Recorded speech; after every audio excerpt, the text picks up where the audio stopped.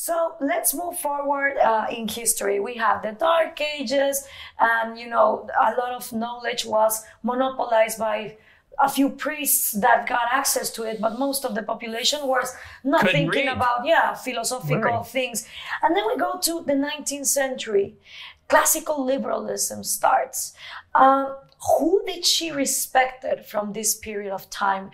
Uh, in my mind comes, for example, Frédéric Bastiat, which I think he was brilliant in uh, in also using.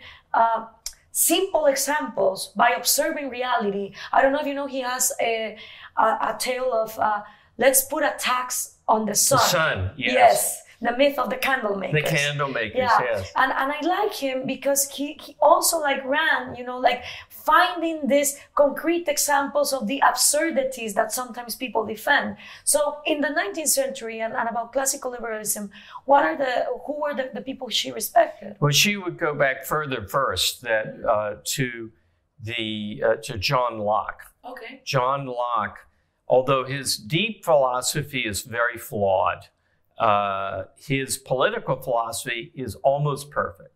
He's the creator of the concept of rights. He's the one who came up with that in its full form. There were hints of it earlier, but he was the one who really developed it. The right to self defense, the consent of the governed, the role of government being to protect freedom, not to destroy it, uh, the um, idea of Republican form of government with representatives, but not democracy. Uh, what, what's wrong with anarchy? He has a great argument. I mean, it's so quick, but it's a great argument. He, his second treatise of government is a fantastic work, as is his letter concerning toleration, both on freedom of speech. Both of them are, are terrific, and she admired him. He's the an- direct ancestor of Thomas Jefferson, who was the American founder that she liked best. Ah, well, I have a question about that. Okay, and then, then going into the 19th century, um, Bastiat, I believe that she liked. I know that those around her were reading him and liking him. And I certainly think he's fabulous. He's also got interesting economic theories and economic sophisms and economic harmonies. His mm-hmm. two books on that. I don't think he got that as right, but he has a very interesting overview perspective.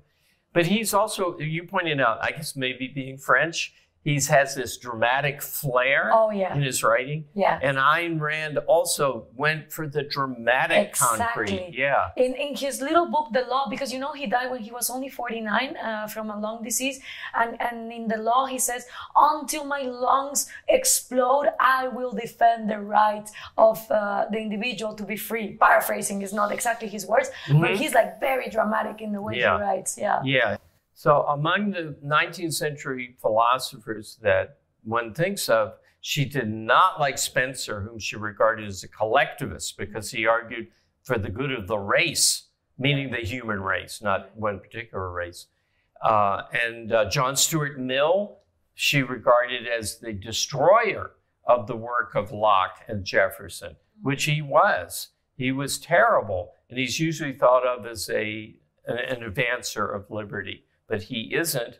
Uh, and he was a, a very much an altruist, and as you know, she favored the virtue of selfishness. Not favored is too mild. She crusaded, made her life's work right the defense of the individual's pursuit of his own self-interest, Right. rational self.